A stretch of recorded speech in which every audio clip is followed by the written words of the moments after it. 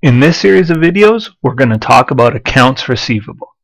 Um, I thought the most logical place to start was just to give a definition of accounts receivable. I was looking for it online, and I just did what any good internet user would do. I googled definition of accounts receivable, and this is what Google came up with, and it's a pretty good definition. It says money owed to a company by its debtors. Now, what does that mean? It means that we did some work for a customer, and the customer hasn't paid us right away. So they owe us money. If I'm owed money by a customer and it's, you know, typical short-term transaction, I do work for them, I send them a bill, they don't pay me right away, they're going to pay me in a week or two, that represents an account receivable to me and it represents an account payable to them. They owe me money, I am owed money. So we're looking at this from the perspective of being owed some money. Um, and so I just want to you to think about accounts receivable for a moment uh, from the perspective of a company and think like why would a company offer accounts receivable that's a real million dollar question it took me a long time probably longer than it should have to piece this together but it's always something that uh, I wondered about as a student, and I wondered about when I was, uh, you know, early on as a professional. I thought, why offer accounts receivable? And I thought of it from a very selfish, lazy accountant perspective. And I said, well, you know, a cash customer is much better. Let's think of a customer that pays us in cash.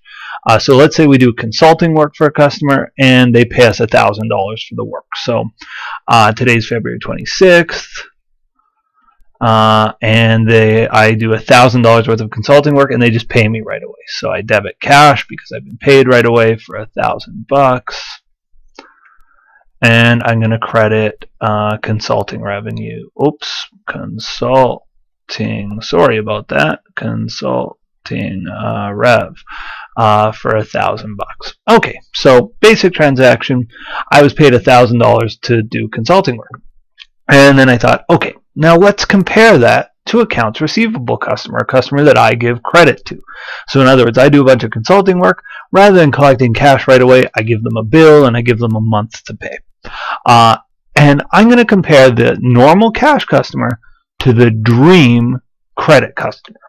So on February 26th, a customer comes in, I do a bunch of consulting work. I do a thousand dollars worth of work, uh, but they don't pay me right away. So if they don't pay me right away, I'm going to debit accounts receivable. Remember, accounts receivable is a current asset. We're owed money.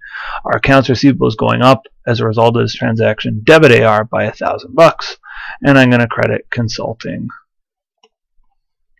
rev for another thousand bucks. Okay, fair enough. Uh, now let's say they're our dream customer and they pay us right away. So uh, they don't even wait the month. We give them a month to pay. They pay us after a week. So it's like March 2nd, or I'm not sure if that's a week later, maybe March 5th.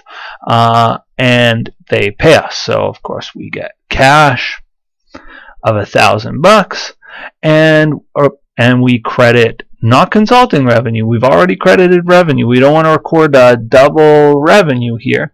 We're going to credit accounts receivable to say we no longer have this receivable. Again, a credit to AR makes it go down. So we said we had $1,000 in receivable. We don't have it anymore because they've paid us. Okay, so being the lazy accountant that I was, I looked at this situation, I compared the two, and I said, well, you know, the best receivables customer in the world takes me two times the journal entries and two times the work uh, compared to a cash customer.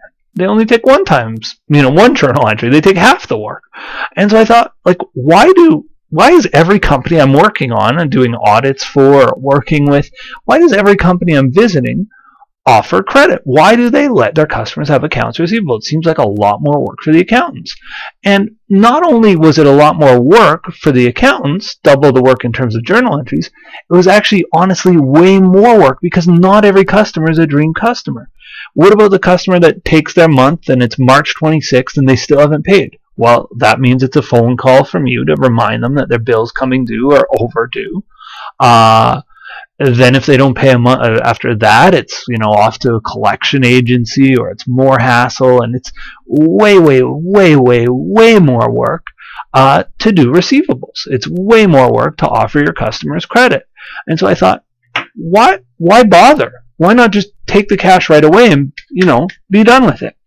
And the answer I'm here to tell you is very simple. The reason co- uh, companies offer credit to their customers is because if they don't, their competitors will. I often imagine uh, my my university is a huge buyer of office supplies, and I think they buy from like Pitney Bowes or some some company like that. But I, I like to pretend this scenario happens. Uh, let's pretend that there's two big office supplies companies in town here, Staples and Office Depot, and those are the two big office supplies companies, Staples and Office Depot. And so let's say TRU, my my university, uh, goes to Staples and they say, Hi, Mr. Staples, we'd like to buy some office supplies. And Staples says, Absolutely, buy office supplies. And by the way, we'll only accept cash. Uh, TRU, a big, big institution, would say, No, no, no, we'd like you to send us a bill. And by the way, if you don't, if you don't give us credit, the competitor down the street will, and we'll go to them. Uh, and so it's something that companies kind of get their hands forced by customers desiring this. They, they want to have credit. It's it's beneficial to the customer to, to get the bill and pay a month later, uh, and and so it's it's the way business gets done. So most companies that I worked with uh, do offer credit in one form or another, and so that's why even though it's a heck of a lot more work, that's the reason that receivables exist and are just commonplace in business. Now, further complicating this for accountants, and part of the, the more to my point of, of why I didn't like dealing with them, is not the fact that they take double the work, and not the fact that uh, you know it takes two journal entries rather than one. Uh, the reason I didn't like dealing with it as a young accountant is because it's a real pain in the neck when customers don't pay. Dealing with the fact that customers don't pay is a huge hassle. I'm going to show you why it's a huge hassle, and that's going to be the focus of your weekend in your class if you're doing accounts receivable. This is the real fundamental issue with accounts receivable, and I'm going to explain by way of example. So I'm zooming back in a bit. Um, okay, so uh, let's again say we're offering credit. I must have zoomed in way too far. I can see that's a little bit big. Let me zoom out there. That's going to be better. Uh, so again, I'm offering credit. This time I make the sale on, uh, let's say, December 15th. I make a sale, and it's on account. So I debit accounts receivable uh, for a thousand bucks. Exact same transaction as for before. I do some consulting work, and I credit consulting revenue for a thousand bucks. I'm not sure why my pen kind of chose to erase itself there. Try that one. Um, okay, so debit accounts receivable, credit consulting revenue. Now let's pretend that my fiscal year end, I thought that would work. It, seems to have made it worse. I'm going to try. Hmm. Well, we'll keep going.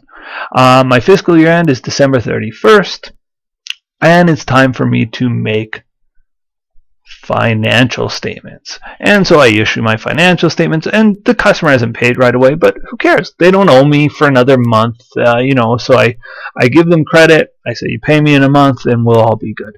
Uh, and so December 31st, I do my income statement, my balance sheet, my statement of retained earnings, my cash flow statement. That's something you probably haven't learned yet.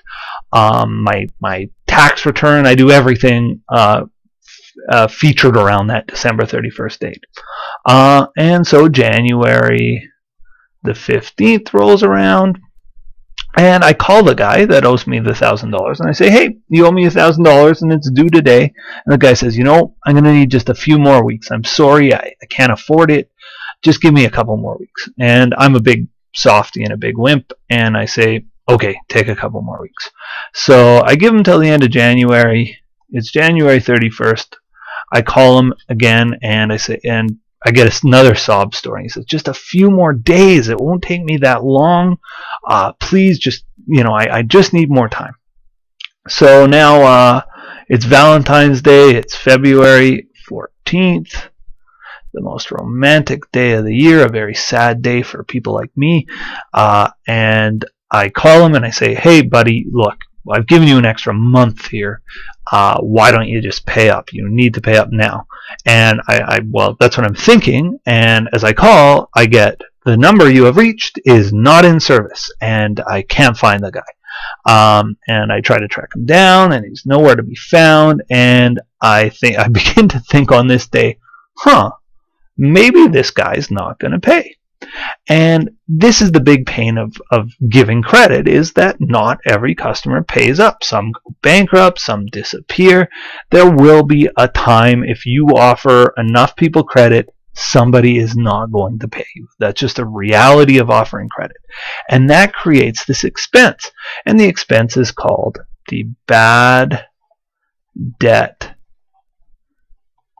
expense. And I've also seen it called the uncollectible accounts expense. I've seen it called a number of different things, but for our purposes in my video, we're going to call it the bad debt expense. Uh, and that's just for, like it sounds, when debt goes bad. When somebody owes us money, their debt goes bad. It's it's rotten. I'm never going to get the money. So you might think, okay, well, it's February 14th, time for a journal entry because this guy's never going to pay us and the bad debt expense comes into play. Now, this is the wrong entry. I'm just telling you right now what I'm going to do here is, is the wrong answer. Um, but you might be tempted to go, okay, debit bad debt expense. It's $1,000 uh, that we're giving up on. Uh, and we'll credit accounts receivable because look, this guy, I, I mean, he legally owes us money, but we don't think we're going to get it. We certainly don't have a thousand dollar asset, uh, current asset that we're going to get paid from him. So get rid of his account receivable, credit accounts receivable for a thousand bucks. Um, and you might think that that's a logical entry, and in fact, it kind of is a logical entry, but this entry is wrong.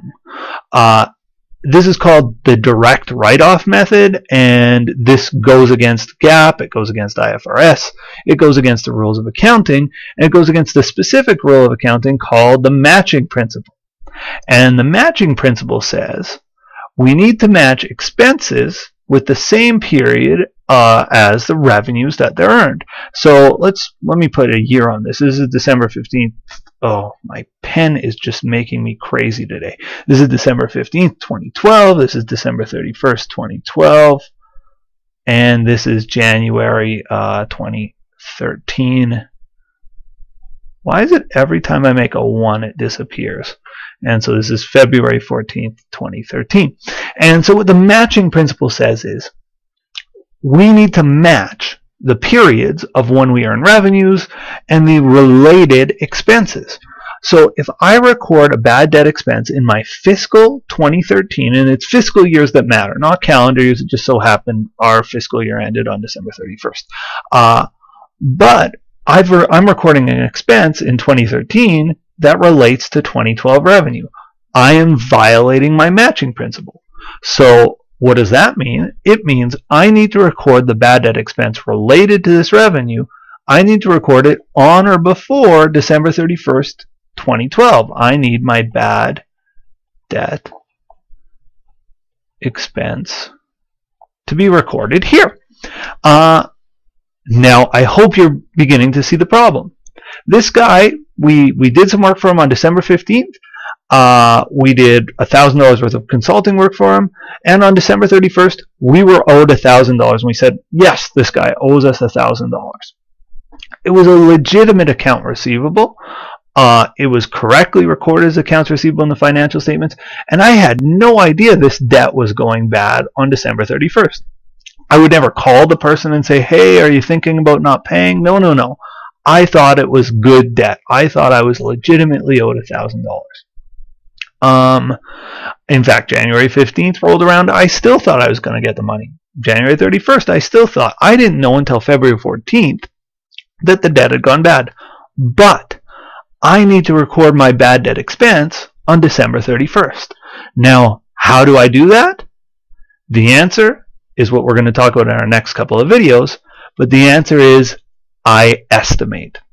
So I take a guess on December 31st, and we're not going to actually learn how to guess. We're going to learn how to deal with it uh, with this situation. So on December 31st, I need to say, okay, look, I have lots of people that owe me money. Clearly, I think they're all good, but clearly if I have a lot of people that owe me money, somebody's not going to pay. I need to estimate my bad debt expense. So this chapter in any textbook is all about how companies estimate their bad debt expense. And we're going to learn two ways of estimating the bad debt expense. In the next video, we're going to talk about the income statement method, also called the percentage of sales method. In the following video, we're going to learn the uh, aging of receivables method, also called the balance sheet method. So those are the two ways we estimate our bad debt expense because we can't wait for the debt to go bad. I can't wait for, you know, February 14th for me to realize this guy's not going to pay. I have to make an estimate on December 31st of my bad debt expense. That's the focus of the next couple of videos. I hope they are useful to you.